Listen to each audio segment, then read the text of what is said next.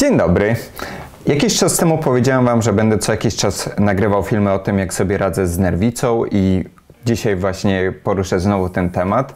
Więc przypominam Wam, że ostatnio z moim dużym takim problemem to była nerwica natręstw i zawsze po takich filmach dostaję od Was dużo wiadomości, co Wy możecie zrobić. I moją radą jest przede wszystkim to, że jeżeli sobie nie potraficie poradzić sami, bo często tak jest, że nie potraficie sobie poradzić sami, nie potrafimy i nie wiemy jak, to taką najskuteczniejszą metodą, którą ja wszystkim polecam i nie wiem dlaczego też tak mało osób z niej korzysta, to jest psychoterapia. To jest coś, co potrafi zmienić wszystko w waszym umyśle, znaczy może nie wszystko, ale bardzo dużo i która jest jak dla mnie bardzo skuteczną formą. No po prostu możecie czytać, co pomaga innym ludziom, ale to, co działa na innych, to nie znaczy, że działa na was, bo każdy ma indywidualną psychikę, indywidualne przejścia i bez pomocy specjalisty często nie potrafimy sobie z tym poradzić. I ja też korzystam z takiej pomocy, co Wam powiedziałem w poprzednich filmach i powiem Wam, co odkrywam i jak ja sobie z tym radzę, więc nie bierzcie to jako radę, może w jakiś sposób Wam to pomoże bardziej sobie poradzić ze swoimi problemami. Natomiast pokazuję Wam jedynie te rzeczy, które działają na mnie, które mi zmieniają dużo w mojej psychice. Więc ostatnio, jak Wam mówiłem, to bardzo dużym problemem stała się derealizacja. I rzeczą, którą odkryłem, to jest to, że bardzo dużo zmienia to, gdy urywam myśli. I rzeczywiście, gdy tylko pojawi się myśl mi o, tej, o tym całym stanie i gdy mówię sobie dość, to po jakimś czasie ona mija. I doszedłem teraz do takiego poziomu, gdzie z kilkudziesięciu e, razy dziennie, gdy się ona pojawiała, to do kilkunastu doszedłem. I bywa tak nawet, że dwa, trzy razy dziennie się pojawia, może nawet był jakiś dzień, gdzie w ogóle się ona nie pojawiała i dążę do tego, aby odkrywając te różne metody, aby w ogóle się nie pojawiała i jestem dobrej myśli. Natomiast dzisiaj zajmiemy się czymś innym. To jest to, z czym tak w ogóle e, poszedłem do, co sprawiało mi duży problem i jak sobie z tym chciałem nauczyć sobie radzić, to to, że czułem cały czas taki pośpiech, cały czas strach przed czymś, narzucanie zbyt wielu zadań i zrobiłem sobie tutaj kartkę taką, co wam teraz będę czytał, co właśnie sprawiało mi największy problem i jak chciałbym, żeby było. Więc taki największy problem to było ten cały czas pośpiech, strach przed tym, że nie uda mi się wykonać zadań, które sobie wyznaczyłem i ciągłe powtarzanie i myślenie o nich. Czyli jeżeli danego dnia wyznaczyłem sobie jakieś 3-4 czynności, to nawet w trakcie ich robienia cały czas myślałem, co muszę jeszcze zrobić, zamiast skupiać się na danej czynności. I nawet gdy już się zrobiłem i miałem taki czas dla siebie, to cały czas rozmyślałem o tym. Z kimś rozmawiałem, to nie potrafiłem skupić się na rozmowie, tylko cały czas były myśli, co ja muszę zrobić, czy zdążę to zrobić. No i taki wypisałem sobie właśnie, co sprawia mi problem. To jest ciągły pośpiech, myślenie, co mam zrobić, strach, że mi się tego nie uda, narzucanie zadań z wielu dni, aby mieć się za sobą, by czuć ulgę. Czyli nawet jeżeli wykonałem pewne zadania, to i tak y, brałem jakieś rzeczy, które na przykład mogłem spokojnie zrobić za kilka dni czy za tydzień, tylko, albo później po prostu, aby mieć się po prostu za sobą, żeby wszystko zrobić na przykład jednego dnia. I taka przykładowa sytuacja, gdy na przykład nagrywałem film, miałem do nagrania 10 scen, scen i sobie zaplanowałem dwie albo trzy jednego dnia to zamiast najpierw zrobić jedną, później drugą, to bywało tak, że zaczynałem jedną, zaraz drugą i kolejną i na żadnej z nich się nie skupiałem w pełni, tylko chciałem wszystko zrobić naraz, aby mieć to za sobą. I nawet gdy było tak, że udawało mi się i wszystkie te rzeczy, które sobie zaplanowałem, wykonałem, to i tak tej ulgi nie czułem do końca, bo pojawiały mi się jakieś kolejne czynności kolejne. No i teraz tak, wypisałem sobie, co może się stać, jeżeli tego nie zrobię. Gdy nie zrobię żadnej z tych rzeczy, sprawi to, że mój plan się zawali. Albo zapomnę o danej czynności, dana czynność przestanie sprawiać mi radość, jeśli jej od razu nie zrobię, bo też tak bywało, że chciałem od razu robić pewne rzeczy, żeby właśnie mi się nie znudziły. Więc to były, są rzeczy, których się obawiałem gdzieś, gdy ze sobą porozmawiałem, co się może stać, gdy ich nie zrobię. I tak, czy tak zdarzało się w moim życiu już, że nie wykonywałem, że te czynności, które sobie na przykład zaplanowałem, nie zrobiłem. Czyli czy zdarzało się tak, że te rzeczy, których się boję, że wystąpią, wystąpiły. I tak, bywało tak, wielokrotnie nawet, że to, czego się tak naprawdę boję, to się wydarzało. No i co wtedy zrobiłem? I co się wtedy wydarzyło? Te czynności robiłem kolejnego dnia, a w moim życiu nic się nie stało, nic nie sprawiło, że to, że się no, no plan ten zawalił, nie sprawiło, że moje życie się zawaliło albo że coś się katastrofalnie jakoś zmieniło.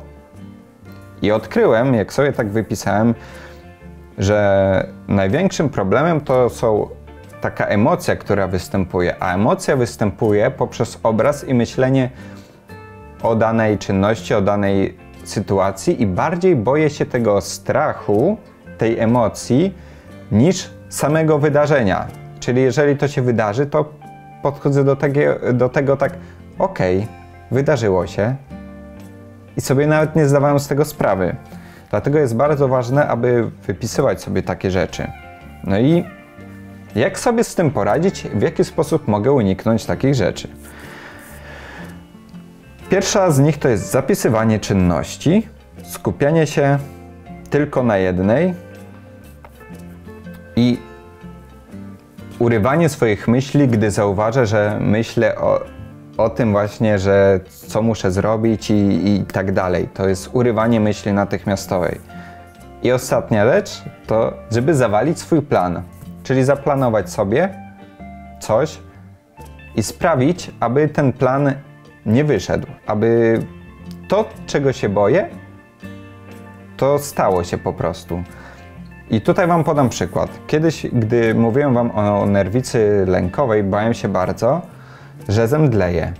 Miałem bardzo duży taki strach, że gdzieś na ulicy albo w ogóle, że zemdleję. I logicznie nawet podchodząc do tego, ten strach nadal tkwił we mnie gdzieś.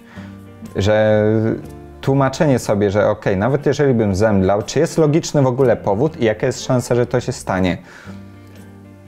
Gdy sobie tak tłumaczyłem, to to i tak nie dochodziło, bo te emocje były silniejsze. Aż pewnego razu zemdlałem i przestałem się bać.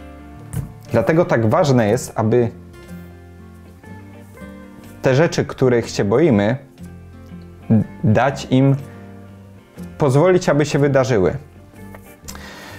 I kiedyś miałem też taki strach duży, że chodziłem często kilkanaście razy nawet e, do, do toalety przed, przed pójściem spać, bo bałem się, że e, gdy zasnę, to na przykład ścikam się.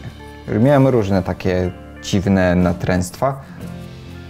Aż pewnego razu, raz i drugi tak zasnąłem bez chodzenia i nic się nie wydarzyło. I co jest ważne, to istotne, co może się wydarzyć. No co, no jeżeli bym się ścikał w nocy, zmieniłbym gacie, pościel albo i nie. I tyle. Więc ważne jest, żeby też sobie tłumaczyć, ale z drugiej strony i tak dawać tym rzeczom wydarzyć się, żebyś zobaczyć, co Twój umysł, przyzwyczaić się do nowych nawyków. I to, co teraz wypisałem, te wszystkie rzeczy, to teraz testuję I zobaczymy, co się wydarzy i jak będzie się zmieniało